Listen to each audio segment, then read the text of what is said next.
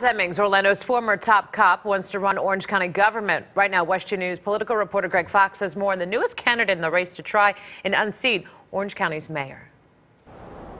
She's been running Orange County from here at the administration building since she was first elected mayor in 2010. Now Teresa Jacobs has a potentially strong challenger. She was the first female police chief in Orlando history in 2007, and for the next four years, Val Demings tackled crime and earned a reputation for creating diversity in the department.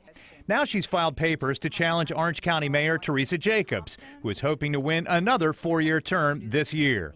She seemed amused by the idea that Demings would be better qualified. I would not run for sheriff because uh, I, I, know I'm not qualified to run for sheriff. And um, I think that the qualification is an issue that will probably be an issue in the race. Jacobs also reacted to a brief statement from the Demings campaign that reads, quote, like many citizens, I too have grown disappointed with the forgotten promises of the current administration. I totally disagree with that, though. We've um, we have kept a record of everything I committed to do, and uh, nobody's perfect, but I, I, am extremely proud of the record that I built, um, not just in the last three years, but the last 12 years. This will be Deming's second run at public office, having been defeated by incumbent Republican Congressman Dan Webster in 2012.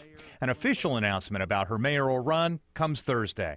Demings will have a lot of catching up to do in the fundraising department. So far, according to campaign records filed through December 31st, Teresa Jacobs has already raised nearly half a million dollars. In Orange County, Greg Fox, WESH 2 News.